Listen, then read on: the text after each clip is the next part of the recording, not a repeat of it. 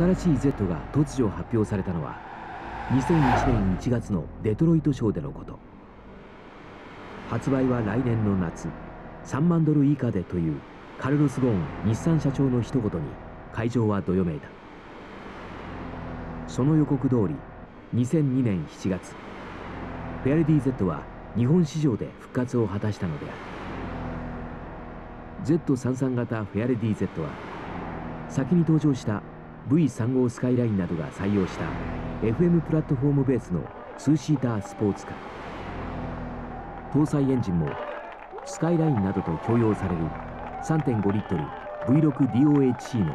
VQ35DE 型だったが最高出力280馬力。最大トルク37キロというスペックと6速マニュアルを実現したのはこのフェアレディ Z が最初だ。った Z33 型フェアレディ Z は価格においてもスポーツカーにおける革新を成し遂げる必要があった。それを考えれば基本コンポーネンツを他社と共用するという手法は賢明と言えよ。実際このおかげで Z は3.5リットルスポーツカーとしては破格の300万円という価格を実現したのだ。グレードはベースモデルに加えて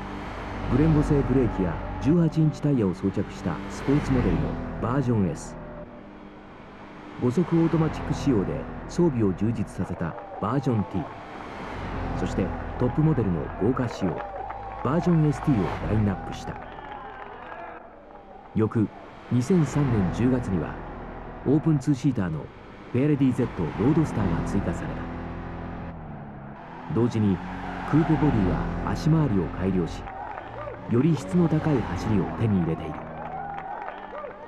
2005年には300馬力を誇る35周年記念モデルを発表。ヨーロッパではグランツーリスモとのコラボレーションにより生まれたリミテッドエディションも発売された。